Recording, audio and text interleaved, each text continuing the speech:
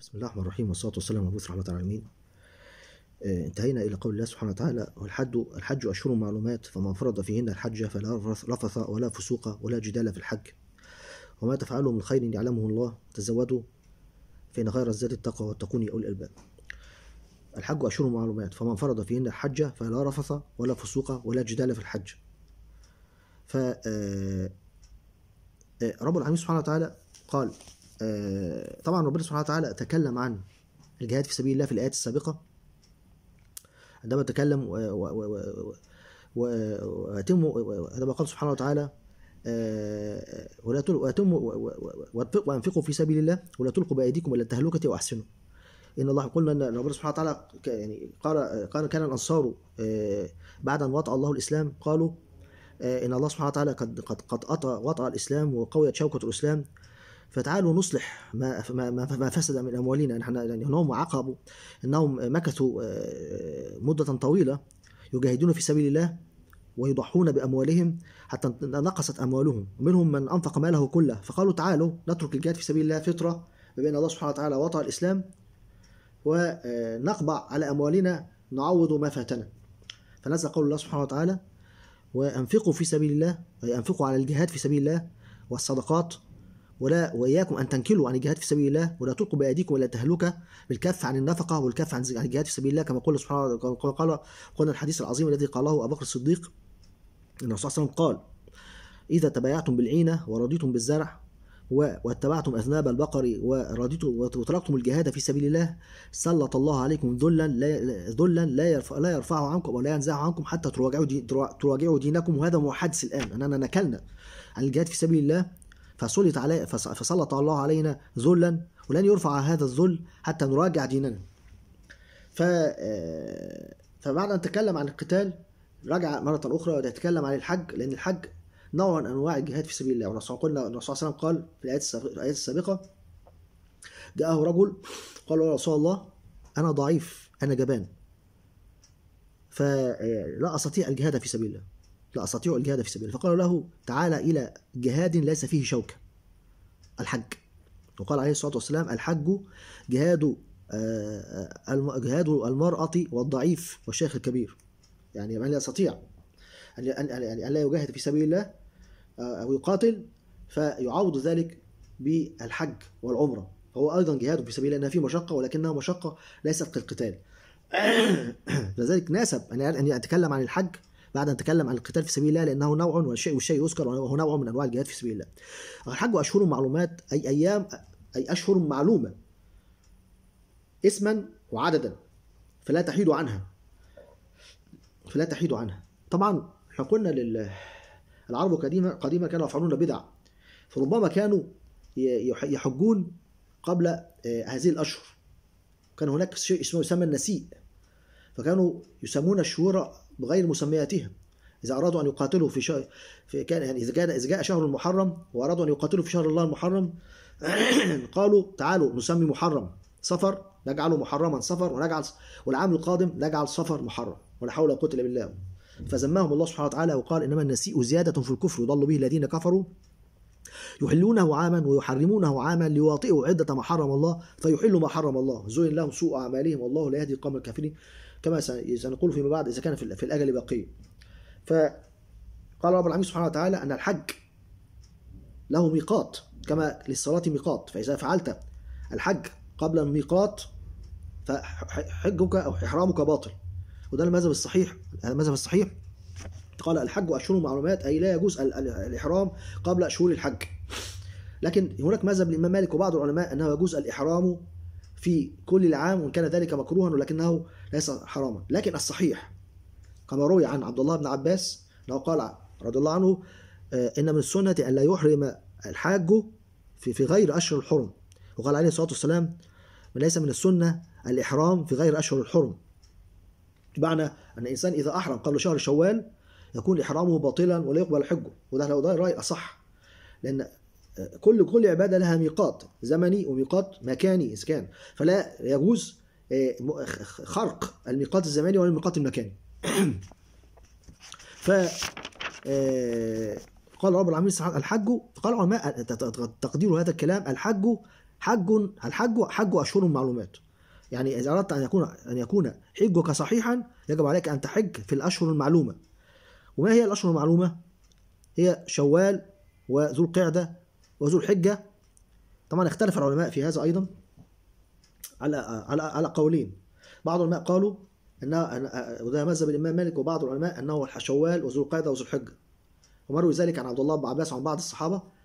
لكن الأصح كما قال كثير من العلماء وروى عن كثير من الصحابة إنه الشوال وذو القعدة وعشر من ذي الحجه وروى ذلك عن الرسول صلى الله عليه وسلم بسند صحيح عن عبد الله بن عباس أيضا. ف والدليل على الدليل على ذلك إن الحج بينتهي بالثلاث أيام التشريق. الحادي عشر والثاني عشر والثالث عشر فمن تعجل في يومين فلا إثم عليه ومن تأخر فلا إثم عليه لمن اتقى.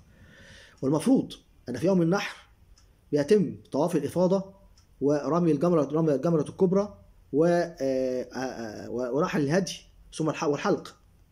وهذه الأعمال كلها تفعل في قبل رمي الجمرات الثلاثة الصغرى في في الثاني عشر في الحادي عشر والثاني عشر والثالث عشر اللي هي فيوم النحر يعني طبعا طواف الإفاضة فرض وبيفعل في يوم النحر. فإذا الذي يؤخر الحج لبعد أيام النحر هو يوم عرفة معروف له ميقات وفي يوم التاسع ويوم النحر معروف.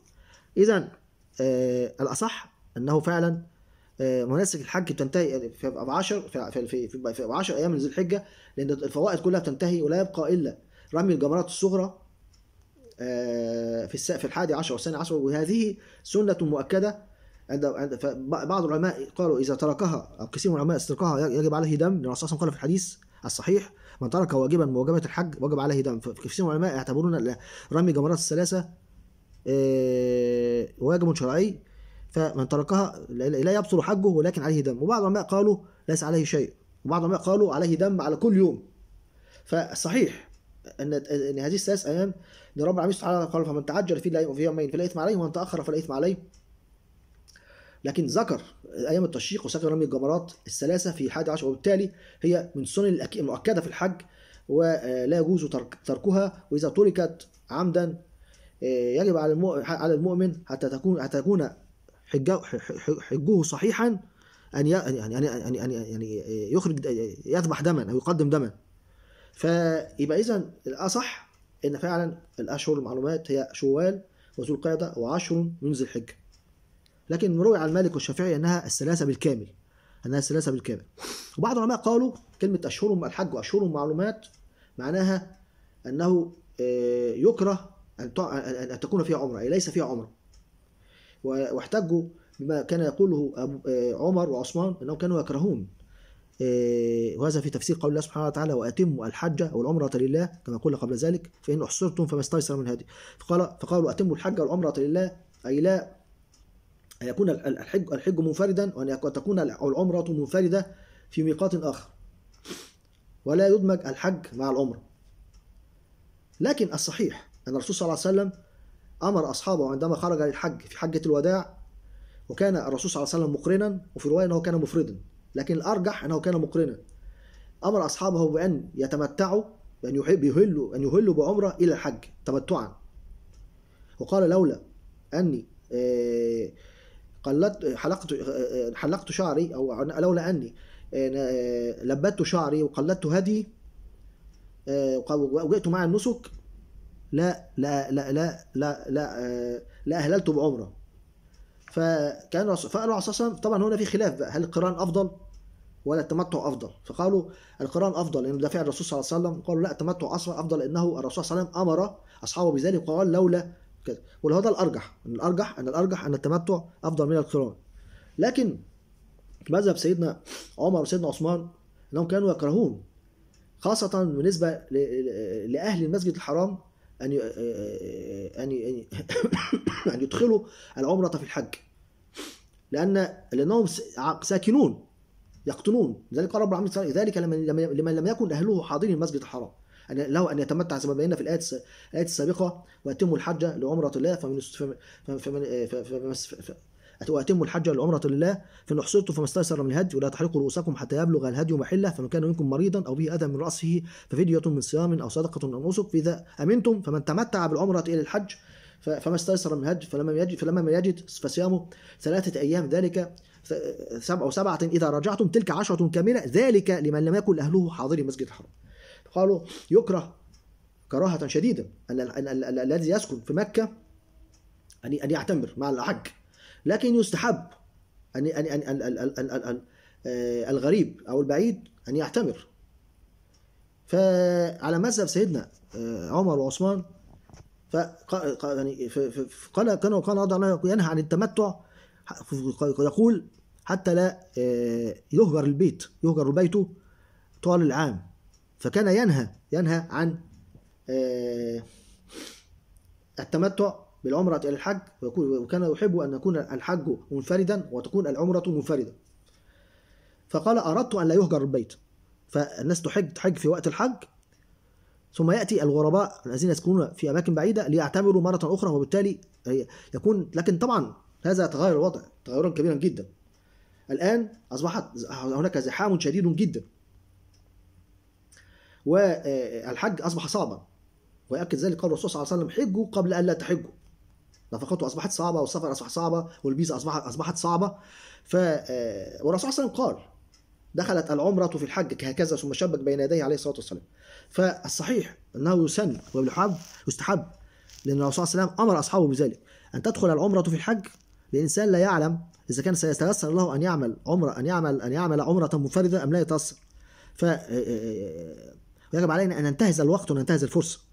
لكن سيدنا أبو بكر سيدنا سيدنا عمر وسيدنا عثمان في أيامه كان الحج سهلا والعمرة سهلة. كان لم يكن هناك حدود لم يكن هناك فيز. فهم فهم وكانت الناس قلة. أقل من من الالف كثير. دلوقتي الآن بي- بيحج سنويا أربعة أربعة ملايين لكن طبعا أيام الرسول صلى أيام الرسول صلى الله عليه وسلم أيام الخلفاء كان الناس قليلا جدا. فهو فهم كانوا يرون أنه سيهجر البيت البيت لو الناس اعتمرت فكانوا يرون آه، آه، آه، ان يفضلون. وفي في قول الله سبحانه وتعالى واتموا الحج والعمره لله تكون الحجة تامة لا تكون تامة إلا إذا كانت منفردة ليس مع عمرة أو العمرة لا تكون تامة إلا إذا كانت منفردة. وحدها. لأن هذا سيكون سفر وهذا سيكون سفر. وهذا فيه مشقة وهذه فيه مشقة وهذا فيه نفقة وهذا فيه نفقة. وبالتالي يكون الثواب أكبر كثيرا. غير أن تكون س- سفرة واحدة أو تكون سفرة واحدة أو أو تكون نفقة واحدة وهكذا. لذلك التمتع أو القران بيكون معه هدي لأنك آه، فعلت نسكين في نسك واحد فيجب عليك أن أن- أن تخرج هديا للفقراء نظير ذلك ف- ف- فبعض العلماء قالوا الحج أشهر معلومات كما قلنا حددنا أنها محددة بميقات زمني وأيام ووقت وبعض قالوا أنها يعني أشهر معلومات أي لا يكون فيها عمر أو استحب لا يكون فيها عمر. فمن فرض فيهن الحج هنا هنا وقفة. أي من ألزم نفسه بالحج ليس له أن يخرج من الحج إلا بعذر قهري. أي من فرض على نفسه الحج زي الذي يدخل في الصلاة يقول الله أكبر ويصلي. ليس له أن يخرج من الصلاة بدون عذر. لو خرج من الصلاة بدون عذر هذا يعتبر يعتبر استخفاف برب العالمين سبحانه وتعالى. فأنت ألزمت نفسك وأحرمت. قلت الله أكبر تكبيرة الإحرام أنت دخلت في الصلاة فلا تخرج حتى تتم الصلاة. فلذلك قال رب العالمين فمن فرض على نفسه فمن فرض فيهن الحج أي من ألزم نفسه بالحج فلا يجوز له أن يخرج إلا بعذر قال فلو خرج يكون عليه كفارة بعض العلماء بدنه فمن خرج فذلك قال فمن فرض فيهن الحج أي فمن فرض على نفسه الحج فلا رفث ولا فسوق ولا ولا جدال في الحج. الرفث بعض العلماء قالوا هو الجماع والكلام الفاحش عند النساء. و آه، عبد الله بن عباس روي عنه أنه قال وذكره ذلك ذكر ذلك ابن كثير آه، أنه قال آه، وهن يمشين وهم هم وهم يمشين هنا نميسة إن يصدق إن يصدق الطير نون نون اللميسة. وحتى ابن كثير قال مش نون قال وضع بعد اللام كاف. طبعا أنا يعني أستحي ان أقول هذه الكلمة. فقال له تابعي أتحرم أت- يعني أت- أترفس وأنت وأنت وأنت مح يعني محرم؟ فقال له إنما الرفس عند النساء. أن تقال أن تقال أقوال عن الجماع عند النساء. أما إذا قلت وحدك فهذا ليس برفس طبعا هذا في يعني أنا يعني يعني أنا لا أؤيد ذلك. وقال بعض العلماء التعريض بكلام الجماع سواء كنت يعني منفردا أو عند أو عند أو عند أو تتكلم أو أو أو في حضره النساء لكن الأصح والله أعلم طبعا عبد الله بن عباس حبر هذه الأمة ولكن يعني لكن له نفسه معصومة. هو له شواذ جمهور علماء آه، يعني تخالف جمهور العلماء في بعض الأقوال والله أعلم. آه، فهو يعني يقول التعريض بهذا الكلام عند النساء لازم يكن عند النساء فلهذا ليس برفث آه، هذا فيه نظر. يعني لكن بعض قالوا التعريض بالجماع سواء كان طبعا هو إذا كان عند النساء يكون أغلظ ويكون أشد. ف آه، قال بعض العلماء كطاووس قال يعني إذا قال المحرم لامرأته إذا أحللت أصبتك. إذا أحللت أي انتهيت من إحرامي جامعتك. فهذا أيضا من قبيل آه، من قبيل ال- ال- ال- ال- ال- الرفث والرفث هو في الحقيقة آه، يقال على الجماع وربما يقال على مقدمة الجماع. آه، آه، كقول الله سبحانه وتعالى في سورة البقرة في سورة في اللي فسرناها قبل ذلك آه، آه، فلا آه، آه، حل لكم ليلة الصيام الرفث إلى نسائكم أي الجماع أي الجماع. فساعات تأتي كلمة الرفث بالجماع وساعات تأتي بمعنى آه، مقدمات الجماع. فقال ابن عباس الرفث غشيان النساء والقبل والغمز والفحش من القول. اذا الرفث ليس بالجماع فقط بل مقدمات الجماع تطلق عليها رفث كقول الرسول صلى الله عليه وسلم إذا صام إذا كان صوم يوم أحدكم فلا يرفث ولا يفسق ولا يصخب ولا يجهل وإن شاتمه أحد أو أو سبه أحد فليقل إني امرئ صائم إني امرئ صائم إني امرئ صائم فكلمة الرفث تحت- تحتمل معنى الجماع أو تحتمل معنى آه، مقدمات الجماع. فلا فص ولا فسوق ولا جدال في الحج. طبعا ال- ال- الحج يكون يكون من- منقطعا للعبادة تماما. لذلك بيحرم عليه كل متعة الدنيا. إلا صيد البحر. لكن يحرم عليه صيد البر يحرم عليه الجماع يحرم عليه الت- التعطر يحرم عليه تقليم الأظافر يحرم عليه آه، قص الشعر آه، كل محظورات الإحرام المعروفة. لا يحرم عليه أن يلبس المخيط أو المحيط. وإذا فعل شيئا من محظورات الإحرام وجب عليه دم وجب عليه دم. لذلك بيلبس لبس ملبسا أشبه بالكفن. حتى يتذكر الكفن والقبر. هذا هذا هو هو الغرض من الحج. ان الإنسان يشعر ويشعر بالفقير. لأنه بي- بي- بيلبس ملبسا آه، متواضعا جدا. ليس فيه خيط ولا كأشبه بالكفن الذي يكفن به. فهو في ذلك ما ولا فسوق. الفسوق العلماء قالوا إتيان المعاصي بعضهم قال هو صيد البر. قال حرم عليكم قال الله سبحانه وتعالى حل لكم صيد البحر ومتاعه طعاما لكم وللسيارة وحرم عليكم صيد البر ما دمتم حرما. فالإنسان إذا إذا اصطاد المحرم في البر فقد ارتكب إثما ويجب عليه كفارة آه، كما قال رب العالمين فكفارة فكفارة طعام مساكين أو عدوا ذلك صياما ليذوق كما قال. فهذا نوع من أنواع الفسوق. إذا فعل الإنسان هذا متعمدا ف آه، بعض العلماء قالوا الفسوق هو السباب والرسول صلى الله عليه وسلم قال في الحديث سباب المؤمن فسوق وقتاله كفر فإن يسب أن أن يسب المؤمن أخاه المؤمن في داخل الحج. فهذا يعني ينقص كثيرا من ثواب الحج وربما يوصل يصل به الأمر إلى إبطال الحج تماما. رب العالمين سبحانه وتعالى يشترط فمن فرض فيهن الحج فلا رفث ولا فسوق. قال بعض العلماء الفسوق هو الذبح عند عند الأصنام. يعني هدي كما كان يفعل العرب قديما من في أيام الجاهلية من الكفار يذبحون الصنم عند ال- فقال بعض العلماء آه، الذبح عند الأصنام أو فسقا أو فسق واحتجوا بقول الله سبحانه وتعالى أو فسقا أهل لغير الله به عند الأصنام. وقال بعضهم هو التنابز بالألقاب. والقرآن يفسر بعضه بعض. ولا ولا تنابزوا بالألقاب. بئس الاسم الفسوق بعد الإيمان.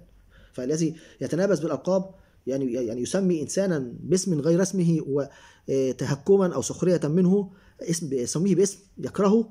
فهذا نوع من التنابز بالألقاب وهذا بئس الاسم الفسوق. فسوق بعد ما هي بئس أن يطلق عليك فاسقا بعد أن كان بعد أن كان يطلق عليك مؤمنا. فلا يجوز التنابز بالألقاب. وبعض العلماء قالوا أن ينوي ظلما لأخيه المؤمن. لقول الله سبحانه وتعالى في سورة الحج ومن يرد به من يرد من يرد فيه بظلم بإلحاد نذقه من عذاب أليم. مجرد النية بس. هي المكان الوحيد في البلد الحرام الذي إنسان إذا أراد بنية بنيته سوء ولم يفعل يعاقب على نيته. وبعض العلماء قالوا قتل الصيد وحلق الشعر وقلم الأظافر وهذا مروي كل ما محظورات الحج وهذا مروي عن عن عن عن, عن عبد الله بن عمر وعن ابن جرير وغيره من العلماء والصحيح إنه قول عام. أي شيء أي شيء يخرجك عن طاعة الله سبحانه وتعالى يدخل في نطاق الفسوق. كالسباب واللعان وال... والكلام في الجماع والنظر الحرام أو مقدمات الجماع أو الجماع أو الس... و... و... كما سنبين وأيضا أيضا المخاصمة والمجادله لا تصل تصل بانسان أنه يرفع صوته ويغضب أو يغضب أخاه المؤمن. كل ذلك يدخل في نطاق الفسوق الذي ينقص من ثواب الحج أو ربما يوصل به إلى ف لأن الرسول صلى الله عليه وسلم قال من حج البيت فلا يرفس ولا فلم يرفس ولم يفسق وخرج من من ذنوبه كما ولدته امه فاشترط الرسول صلى الله عليه وسلم عدم الفسق وعدم الرفس الرفس كما جاء في هذه الآية والقرآن تفسر السنة والسنة تفسر القرآن. ولا جدال في الحج فلا رفث ولا فسوق ولا جدال في الحج قال بعض العلماء النسيء نوع من أنواع وكانوا ينسيون أشهر كما بينا في القتال يسمون الاشهر بغير مسماتها. فهذا نوع من قالوا هذا النسيئون هذا نوع من الجدال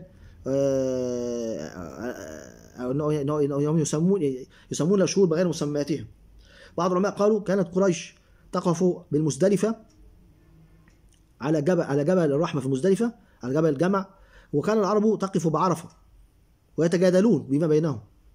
طبعا حبايين كما سبين ثم أفيضوا من حيث أفاض الناس. يقول لقريش قفوا على عرفة كما تقف الناس على عرفة. فمن وقف على جبل غير عرفة بطل حجه تماما وارتكب اسما كبيرا. فكانوا قديما يود يعني يحرفون مناسك الحج ويبتدعون في دين الله ما ليس فيه. فكانت تقف قريش على المزدلفة وتقول نحن الحمس نحن الع... نحن خدام البيت نحن فيجعلون لانفسهم فضيلة ويقولوا يعني نحن نحن نخرج من الحرم لأن مزدلفه داخل الحرم. وجبل عرفة في الحل فنحن خدام البيت فيقفون في الحرم وتقف العرب على جبل عرفة في الحل فيقولوا نحن لا نترك الحرم كما سنبين فيما بعد. ف... ويتجادلون فيما بينهم. حتى كانوا يقول كل واحد منهم نحن على موقف إبراهيم يعني نحن على موقف الصحيح من إبراهيم. والطائفة الأخرى تقول لا بل نحن على موقف إبراهيم وأنتم الخطا ونحن الصح فكانوا فقال العلماء فلو كان جدال ألا تتجادلون في مناسك الحج؟ فقد عرف الحج وعرفت أشهره وعرفت مناسكه والرسول صلى الله عليه وسلم عني مناسككم. فلا يجوز أن نتجادل أو نتخاصم في الحج أو يقول المؤمن لأخيه المؤمن يعني حجي أفضل من حجك أو أنا أعمل مناسك أفضل منك أو يقول له كذلك لأن هذا الخصام والجدال والمراء يورث الشقاء والبغضاء أو التناحر بينهما. في في فكل منهم كان يدعي أنه على على الحج الصحيح والموقف الصحيح. فعندما جاء الحج عندما جاء الرسول صلى الله عليه وسلم وعرف الحج أصبح لا هناك جدال في مناسك الحج. فكان يقول بعضهم البعض حجنا حجنا أتمم من حجكم. وكان بعضهم يقول الحج غدا الحج اليوم. يختلفون في تاريخ الحج. فقال العلماء الجدال المخاصمة أن تجادل أخاك حتى تغضبه. إذا فعلت ذلك إذا أغضبت أخاك المؤمن وأنت محرم فهذه فهذا هو الذي وصل إلى حد كبير من المخاصمه فانت فأنت فعلت شيئا محرما من الثلاثة التي تجعلك على خطر عظيم أن أن يبطل حجك أو ينقص ثوابه كثيرا. وربما يعني لا تغفر به الذنوب لأن الرسول اشترط. لم يرفث ولم يفسق فمن فرض فيهن الحج فلا رفث ولا فسوق ولا جدال في الحج. ف وقال بعضهم الجدال السباب والمراء والخصومات. السباب والجدال والمراء. وحتى حديث أبو بكر الصديق لما خرج عندما خرج الرسول صلى الله عليه وسلم معه كان في حج وكان سيدنا أبو بكر الصديق محرما فكان له عبد فجاء العبد معه ليس معه البعير قال له أين البعير؟ قال أضللته البارحة ضيع ضاع منه البعير فاتفق يضربه فنظر الرسول صلى الله عليه وسلم وأشار إليه وقالوا انظروا إلى هذا المحرم ماذا يفعل؟ كأنه ينكر عليه ضربه لعبده لذلك الرسول صلى الله عليه وسلم قال من قضى نسك نسكه وسلم المسلمون من لسانه ويده غفر له ما تقدم من ذنبه من قضى نسكه وسلم المسلمون من لسانه ويده. يبقى يجب أن يسلم أن يسلم المسلمون من لسانك ويدك. حتى لا ترف حتى لا تسخط حتى لا يكون هناك جدال. آه كما قال رب العالمين فلا رفث ولا ولا فسوق ولا جدال. اذا الذي لم يسلم المسلمون من لسانه ويده فقد وقع في الفسق ووقع في الجدال. ولم يخ... لن يغفر له ما تقدم من ذنبه كما قال الرسول صلى الله عليه وسلم وما تفعله من خير يعلمه الله وتزودوا في خير ذات التقوى. وما تفعله من خير يعلمه الله. أي ما تفعله من اجتناب المعاصي. من كل كل الذي إحنا قلنا اجتناب محظورات الإحرام التي آه، التي تجعلك توجب عليك دما.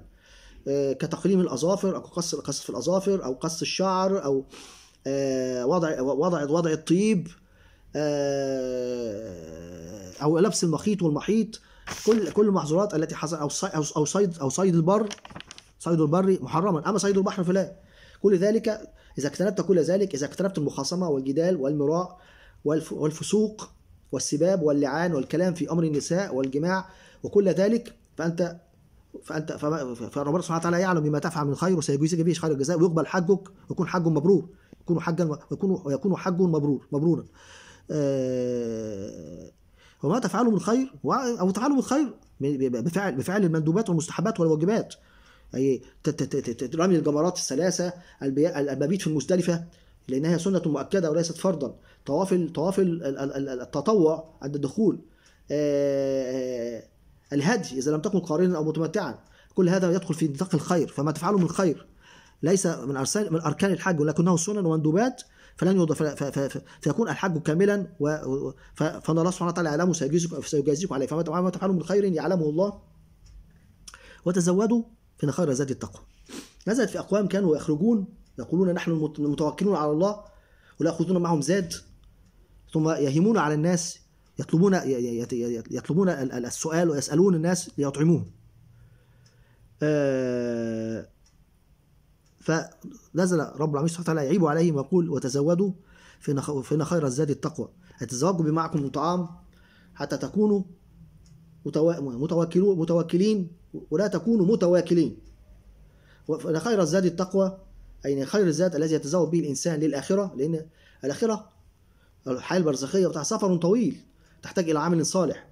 فسفر بسيط يحتاج إلى طعام وسفر بسيط يحتاج إلى تقوى. كأن رب العالمين سبحانه وتعالى وتزودوا فإن خير الزاد التقوى أي أنك إذا خرجت بدون بدون طعام ولا شراب متواكلا فأنت آه، فأنت ليس يعني التقوى هنا ناقصة. لأن التقوى كمال التقوى من من من حسن التوكل على الله سبحانه وتعالى. ولكنك أنت أصبحت متوكلا وتزودوا فإن خير الزاد التقوى أي خير الزاد للآخرة هو تقوى الله سبحانه وتعالى.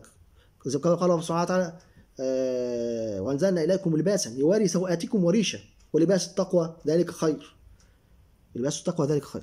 فدائما يذكر عندما يذكر حطام الدنيا من طعام وشراب وملبس يقول أن الذي يسترك في القبر أفضل من الملبس والطعام والشراب هو هي التقوى. تسترك في قبرك وتسترك يوم القيامة.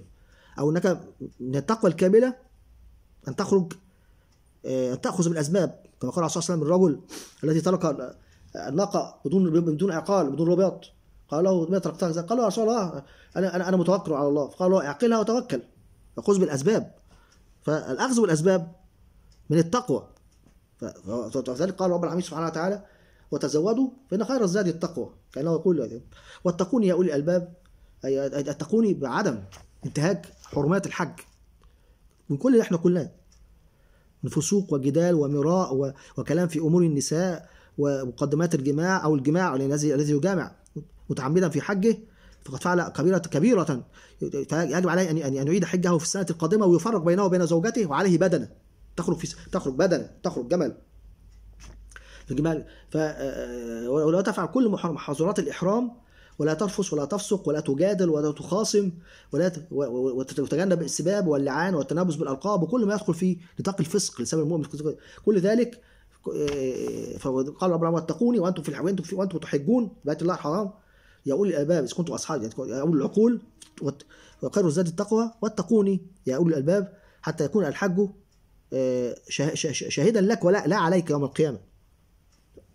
لكن إذا أحسنت في الحج غفر لك ما تقدم من ذنب أما إذا أسأت فيه فربما ترجع به بوزر ولا لا واتقوني بأن بان تاكلوا من حلال ويكون الحج من حلال. فمن خرج بحج بحج من حرام فهو ليس بتقي وحجه مردود عليه. فأقول قولي هذا. واستغفر الله لي وفي شفاعه رسول الله صلى الله عليه وسلم ساعدوا عن السنة